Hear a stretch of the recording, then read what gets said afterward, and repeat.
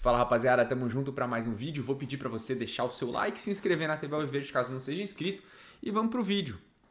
Hoje é para falar do Danilo, né? A possível transferência do Danilo, uma eventual transferência do Danilo que ganhou diversas narrativas aí, né? Já se falou em Arsenal, já se falou em Mônaco, já se falou em Benfica, agora volta a se falar em Mônaco de novo. Né? Então eu fui atrás de algumas informações, é, apurando aí com uma galera vendo o que outros jornalistas, o que outros comunicadores estão falando também, e chegamos a três cenários. Né? Eu não estou tratando isso como uma verdade absoluta, espero que você também não.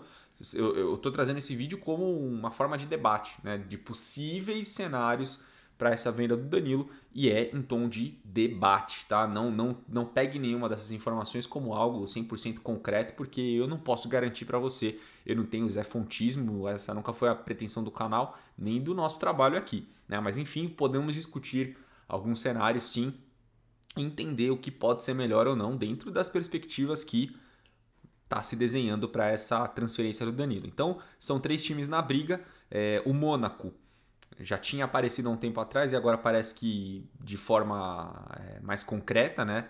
É, são 20 milhões de euros pelo Danilo, mais o um empréstimo de um ano do Jean Lucas. Né? O Jean Lucas, um meia atacante, jovem aí, se não me engano, 24, 23 anos, passou por Santos, Flamengo, Lyon, agora está no Mônaco. Uh, e o Palmeiras está trabalhando para tentar. O, o Mônaco, segundo dizem aí, segundo eu pude apurar, é o cenário preferido que o, que, que o Palmeiras é, entende como a melhor transação possível, só que não quer o empréstimo do, do Jean Lucas por um ano, que é o jogador em definitivo. Então, o Palmeiras está trabalhando para ter é, essa alteração no negócio. Então, o Jean Lucas não viria por empréstimo, viria de forma definitiva. Acho que é bacana, acho que é interessante, até porque se o Jean Lucas jogar bem aqui e o Palmeiras quiser comprar o jogador, depois vai ser uma bica, né? Então o dinheiro que você ganha da transferência do Danilo, depois você vai precisar dar grande parte dele para ter o Jean Lucas em definitivo, caso ele vá bem. Então é interessante ter o jogador, obviamente, nosso, né? Ser nosso, ser dado no negócio, ou você fixar um valor de compra. Né? Tá, o empréstimo é de um ano, mas se quisermos comprar, o valor é esse aqui e ponto final. Então são esses caminhos. É, tem o Benfica também, né, que também são 20 milhões de euros, as três propostas estão 20 milhões de euros aqui. Né? Então, por isso eu estou falando, não trate como verdade absoluta. Né? Não, não, não tem como a gente checar essas informações, até porque é, são informações sigilosas. Né? Então, Benfica, 20 milhões de euros, mais 5 milhões de euros como bônus. Mas aí são metas muito estratosféricas, aí ele só vai conseguir realizar se ele for o novo Kanté. E tem o Arsenal também, que 20 milhões de euros e ponto final.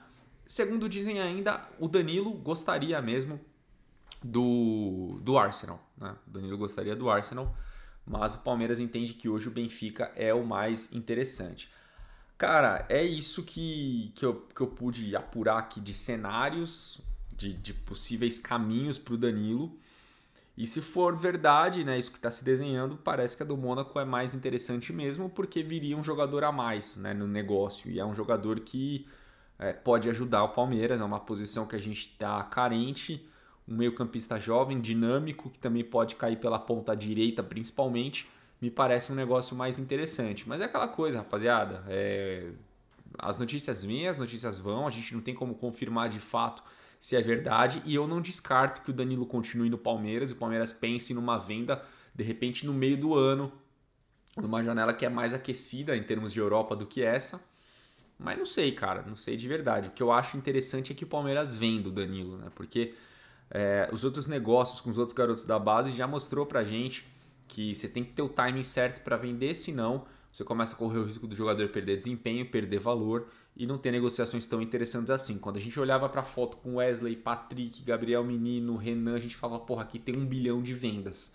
E na verdade a, real, a realidade foi totalmente diferente né, do que a gente esperava. Então isso são lições. A gente precisa aprender as lições. A gente se apega aos jogadores, a gente gosta dos jogadores, eles se tornam importantes, mas tem que pensar qual é o planejamento do Palmeiras. É lançar jogadores da base e vender? Continuar fazendo essa roda girar para ser um, um, planejamento sustentável? Então precisa vender. Né? E depois que vender o Danilo, obviamente precisa contratar. Né? Eu acho que seria um risco muito grande não trazer ninguém para reposição dele. Mas enfim, é isso. Quero saber a sua opinião. Deixa aqui nos comentários. Tamo junto. Um abraço e valeu.